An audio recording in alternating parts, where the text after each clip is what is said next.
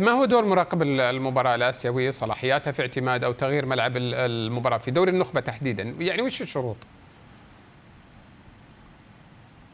نعم بخصوص دور مراقب المباراة طبعا التعليمات الناظمة للمسابقة الآسيوية منحت مراقب نعم. المباراة الصلاحيات الكاملة للكشف عن ملعب المباراة والتأكد من استيفائه المعايير المنصوص عليها في الأنظمة والتعليمات وفي حال وجود أي نواقص يقوم المراقب بإبلاغ النادي المستضيف بضرورة معالجتها بالسرعة الممكنة. وفي حال عدم الاستجابة يتم رفع الموضوع للجهات المختصة في الاتحاد الآسيوي لاتخاذ القرارات المناسبة بهذا الإطار. جميل. طيب هل يرفع المراقب مراقب المباراة يرفع توصيات للجنة معينة في الاتحاد الآسيوي هي من تتخذ القرار أو بناء على طلب النادي يقرر اتحاد القارة اعتماد أو تغيير هذا الملعب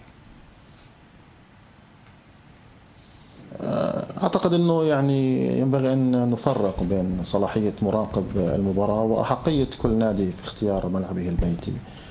طبعا مهمة المراقب مثل ما ذكرنا تبدأ جميل. عند وصوله للبلد المستضيف طيب. يعني قبيل أيام قليلة من موعد المباراة ودوره كما أسلفت يعني يتمثل في معاينة الملعب والتأكد من استيفائه للشروط ورفع تقرير الإدارة المختصة في الاتحاد الآسيوي بهذا الخصوص واضح. أما بشأن النادي المستضيف فهو الذي يختار ملعبه البيتي قبل فترة كافية من موعد المباراة ولا يمكن تغيير الملعب إلا في حالات استثنائية تقتنع بها إدارة المسابقات القارية وهو ما حصل في حالة مباراة الأهلي وبريسبوليس جميل.